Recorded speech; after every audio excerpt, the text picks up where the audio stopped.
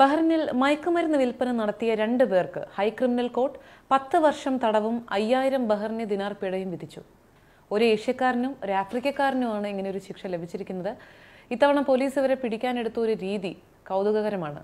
ഈ ഏഷ്യക്കാരൻ ഇങ്ങനെ മയക്കുമരുന്ന് വിൽപ്പന നടത്തുന്നു എന്നുള്ളൊരു വിവരമാണ് ആദ്യം പോലീസിന് ലഭിക്കുന്നത്. ഈ വിവരം അറിഞ്ഞ ഉടനെ തങ്ങളുടെ ഭാഗത്ത് നിന്ന് ഒരു ഏജന്റ് എന്നുള്ള രൂപത്തിൽ എന്ന വ്യാജേന ഒരാളെ ഈ ഏഷ്യക്കാരന്റെ അടുത്തേക്ക് അയച്ചു. മയക്കുമരുന്ന് ആവശ്യമുണ്ട് എന്നുള്ളൊരു രീതിയിൽ. അങ്ങനെ ഇവർ തമ്മിൽ കച്ചവട കാര്യങ്ങളൊക്കെ സംസാരിച്ച് അറുപത് ബഹറിൻ ദിനാറിന് കച്ചവടം ഉറപ്പിച്ചു. അങ്ങനെ ഈ സാധനം കൈമാറാനായി ഗുദൈബിയയിലൊരു ഒഴിഞ്ഞ പ്രദേശത്തേക്ക് വരാനായി ആവശ്യപ്പെട്ടു. ഈ സ്ഥലത്ത് പ്രതി മയക്കുമരുന്നുമായി എത്തുകയും ആ സമയത്ത് പോലീസ് ഇയാളെ പിടിക്കുകയുമായിരുന്നു. പിടിച്ച ശേഷം ശേഷമുണ്ടായ ചോദ്യം ചെയ്യലിൽ താനൊരു ഏജന്റ് മാത്രമാണെന്നും താൻ ഈ മയക്കുമരുന്നെല്ലാം വാങ്ങുന്നത് മുൻപ് പറഞ്ഞ ആഫ്രിക്കക്കാരന്റെ കയ്യിൽ നിന്നുമാണെന്നാണ് ഈ ഏഷ്യൻ വംശജനായ പ്രതി വെളിപ്പെടുത്തിയത്. അത് മാത്രമല്ല അയാളെ പിടികൂടാൻ താൻ സന്നദ്ധത അറിയിക്കുന്നു എന്നുള്ള ഒരു കാര്യം കൂടി പോലീസിനോട് പറഞ്ഞു. തുടർന്ന് ഈ ആഫ്രിക്കക്കാരനെ ഏഷ്യൻ പൗരൻ വിളിച്ച് ഒരു പുതിയ കസ്റ്റമറെ കിട്ടിയിട്ടുണ്ട്. അവർക്ക് നൽകാനായി അൻപത് ബഹ്റിൻ ദിനാറിന്റെ മയക്കുമരുന്ന് വേണം. ഇതുമായി അഡ്ലിയ ഭാഗത്ത് എത്തണമെന്നാണ് ആവശ്യപ്പെട്ടത്. അങ്ങനെ അവിടേക്ക് ഈ ആഫ്രിക്കൻ പൗരൻ വരികയും പെട്ടെന്നാണ് പോലീസിനെയും ഈ പറഞ്ഞ ഏഷ്യക്കാരനെയും കാണുന്നത്. പിടികൂടാനുള്ള ഒരു ശ്രമമാണെന്ന് മനസ്സിലാക്കിയ ഉടനെ തന്നെ ഓടി രക്ഷപ്പെടാൻ ശ്രമിക്കുകയായിരുന്നു. പക്ഷെ പിന്നീട് നടന്ന പോലീസിന്റെ ഒരു ശ്രമത്തിനൊടുവിൽ ഇവരെ രണ്ടുപേരെയും പിടികൂടി കോർട്ടിന് കൈമാറി. വിശദമായി ഈ ഒരു കേസ് പരിശോധിച്ച ശേഷമാണ് ഇങ്ങനെ ഒരു വിധി വന്നിരിക്കുന്നത്. നമുക്കറിയാം മുൻപും മയക്കുമരുന്ന് കേസിൽ വളരെ കടുത്ത നിലപാട് തന്നെയാണ് ബഹ്റിൻ കോടതി എടുക്കാറുള്ളത്. ബഹ്റിനിലെ നിയമരീതി അത് തന്നെയാണ്. ഇത്തവണയും ഇതേ ഒരു രീതിയാണ് കൊണ്ടുവന്നിട്ടുള്ളത്. ഇപ്പോൾ ഇവർക്ക് പത്ത് വർഷം തടവും അയ്യായിരം ബഹ്റിൻ ദിനാറുമാണ് പിഴയായി ലഭിച്ചിരിക്കുന്നത്. വനിതാ സുപ്രീം കൗൺസിൽ രൂപീകരിച്ചതിന്റെ ഇരുപത്തിയൊന്ന് വർഷം പൂർത്തിയാക്കുന്ന ഈ ഒരു സാഹചര്യത്തിൽ കഴിഞ്ഞ ദിവസം ചേർന്ന മന്ത്രിസഭാ യോഗം അതിന്റെ അമരക്കാരെ പ്രത്യേകം അഭിനന്ദനം അറിയിക്കുകയുണ്ടായി. ബഹ്റിൻ സ്ത്രീകളുടെ മുന്നേറ്റത്തിൽ വനിതാ സുപ്രീം കൗൺസിലിന്റെ പങ്ക് പ്രശംസനീയമാണെന്നാണ് മന്ത്രിസഭാ യോഗം വിലയിരുത്തിയത്. കിരീടാവകാശിയും പ്രധാനമന്ത്രിയുമായ prince Salman bin Hamad al ഖലീഫയുടെ അധ്യക്ഷതയിൽ ഗുദൈബിയ പാലസിൽ ചേർന്ന യോഗം ബഹ്റിൻ സ്ത്രീ സമൂഹം എല്ലാ മേഖലകളിലും അവരുടേതായൊരു വ്യക്തിമുദ്ര പതിപ്പിച്ചത് രാജ്യത്തിന് തിളക്കമാർന്ന നേട്ടമാണെന്ന് അഭിപ്രായപ്പെട്ടു. രാജപത്നി princess Sabeeka bin Ibrahim Al ഖലീഫയുടെ നേതൃത്വത്തിൽ ചിട്ടയായ പ്രവർത്തനമാണ് വനിതകളുടെ ഉന്നമനവും വളർച്ചയും ലക്ഷ്യമിട്ട് ഈ ഒരു വനിതാ സുപ്രീം കൗൺസിൽ നടത്തിയതെന്നും യോഗം വിലയിരുത്തി. സാമ്പത്തിക തട്ടിപ്പുമായി ബന്ധപ്പെട്ട പല സംഭവങ്ങളും അടുത്തിടെ നമ്മൾ ബഹ്റിൻ വാർത്തയിലൂടെ തന്നെ നിങ്ങളെ അറിയിച്ചിരുന്നു. നിങ്ങളിൽ പല ആളുകളും അത്തരത്തിലുള്ള ഫേക്ക് കോളുകളിലൂടെയും അല്ലെങ്കിൽ മെസ്സേജുകളിലൂടെയൊക്കെ കടന്നുപോയ ആളുകളുമായിരിക്കും.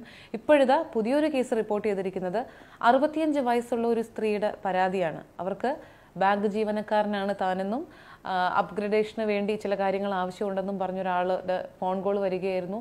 തുടർന്ന് ഇയാൾ ആവശ്യപ്പെട്ട പ്രകാരം തന്റെ വളരെ പ്രധാനപ്പെട്ട ചില വ്യക്തി വിവരങ്ങൾ ഇവർ കൈമാറി. കുറച്ച് സമയങ്ങൾക്കകം തന്നെ അവരുടെ അക്കൗണ്ടിൽ നിന്ന് അയ്യായിരം ദിനാർ നഷ്ടമാവുകയും ചെയ്തു. ഇവരങ്ങനെ കംപ്ലൈന്റ് ചെയ്തു. പിന്നീട് പോലീസ് നടത്തിയ ഒരു അന്വേഷണത്തിൽ രണ്ട് ഏഷ്യൻ വംശജരാണ് ഇതിന്റെ പുറകിലെന്ന് കണ്ടെത്തുകയും അവരെ പിടികൂടുകയും ചെയ്തു. ഇപ്പോഴത്തെ നിയമ നടപടികൾക്ക് എല്ലാം ആ പ്രൊസീജിയർസ് എല്ലാം കഴിഞ്ഞു.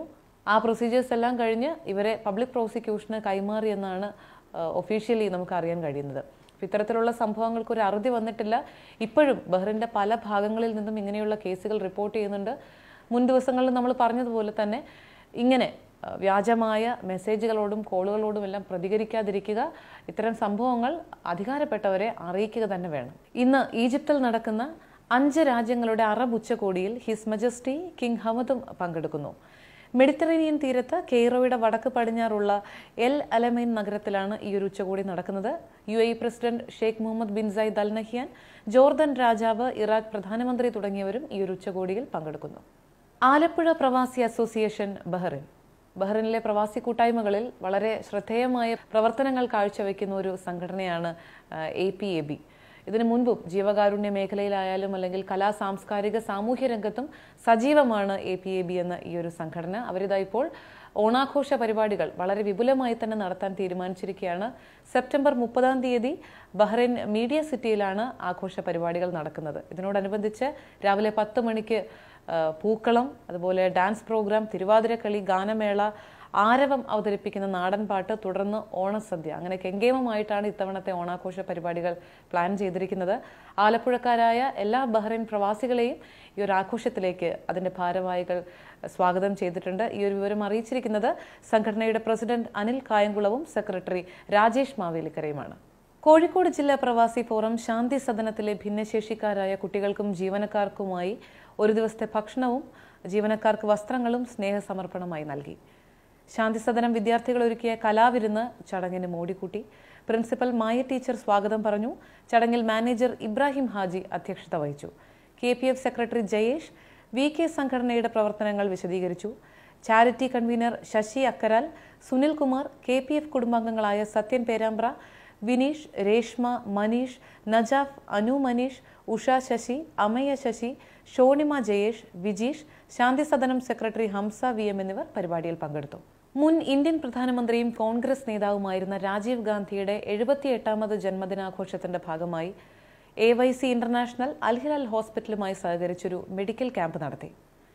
നൂറുകണക്കിന് പേർക്ക് ഈ ഒരു ക്യാമ്പ് പ്രയോജനം ചെയ്തു. അദലിയ ബ്രാഞ്ചിൽ വെച്ചാണ് ഈ ഒരു ക്യാമ്പ് നടത്തിയത്.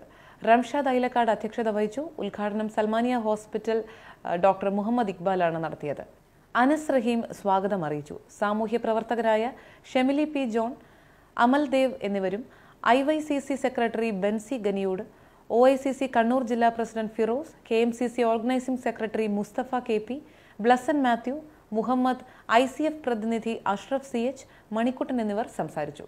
ബേസിൽ നെല്ലിമറ്റമാണ് നന്ദി അറിയിച്ചത്. ബഹ്റിൻ വാർത്ത ഈവനിംഗ് അപ്ഡേറ്റ്സ് സമാപിക്കുന്നു. നന്ദി.